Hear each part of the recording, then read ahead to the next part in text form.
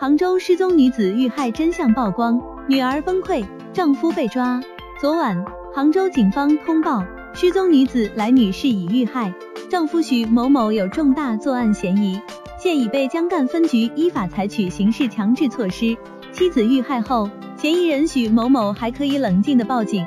发现来女士失踪后，警方反复查看小区出入口的监控，通了三晚宵。那天是她女儿生日。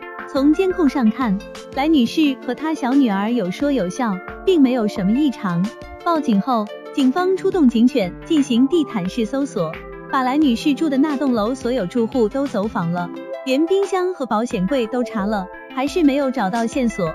接受采访时，许某某神态自若，妻子穿的衣服和失踪的时间记得一清二楚。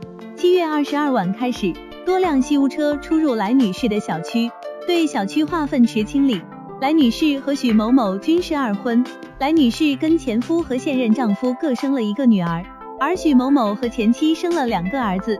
如果来女士永久性失踪，法院将她判定为死亡，目测许某某就可以顺理成章拿到另外一套房。